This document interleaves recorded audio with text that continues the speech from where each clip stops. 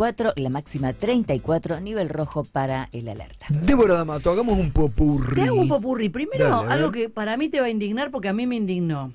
Nicole acompañó a su novio, a Manu Ursera, a Neuquén porque allí corría.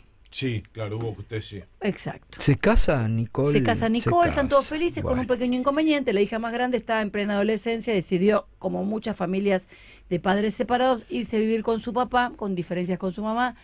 Y nada, es súper natural y, y- y cuesta a veces para los papás entender, pero bueno, la, eh, la más grande pudo decidir y con el dolor, todo el dolor del mundo, intentó Nicole amigarse. Bueno, La hija le contestó, mamá, los problemas no se resuelven con viajes, porque le invitó a un Epa. viaje.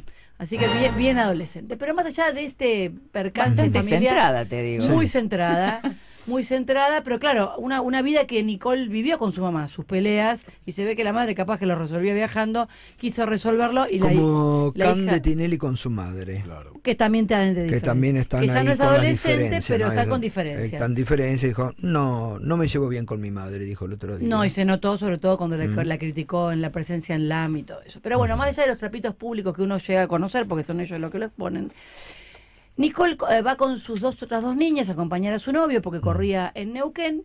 Y a ver si, no sé si está eh, el material para que compartamos. Ahí la vemos a Nicole grabando a su nena de 12 años manejando. Esta es la que se quería vivir con... No, esta- no, no, Ah. porque la que sí quiere vivir ya está viviendo con el padre. No, no, están peleadas, no, no, no hay, tra- no hay trato. Esta es la de buggy. 12 años, está manejando un buggy. Y bueno, fue la absolutamente criticada porque la nena tiene 12 años. Es cierto, no hay nada. y a con su un alrededor. menor ahí. Un menor adelante. va bastante rápido, esa es una realidad. Sí. Y no deja de tener 12 años. Y, y Nicole sin cinturón de seguridad, me parece. la- y el Y menor el, tampoco. el menor tampoco. Tampoco. La única que lo tiene es Y Alegra. hay que es alguien la- atrás también. Sí, sí, Sí. sí, está, el, el buggy va, va, va colmado, Bueno. la madre orgullosa, bueno, trae obviamente ¿Cómo mucho suben revuelo. esto además en redes sabiendo que están en infracción? ¿Sabes cuál es el tema? Eh, esa necesidad permanente de Demostrar mostrar todo, todo. no hace ver lo que está bien y lo que está mal. Bueno. Después obviamente se enojan ante las Sí. críticas, pero estamos hablando de una nena de 12 años que probablemente... eh, Irresponsable, porque además irresponsable. tienen que dar eh, ejemplo hacia afuera de responsabilidad. ¿Cuántos accidentes hay en no los hay veranos? A ver, primero en Pinamar, Es los que van. ¿Cuántos accidentes fatales hay Ah. en Pinamar con los cuatriciclos? En este caso es un buggy que no tiene ninguna protección a su alrededor.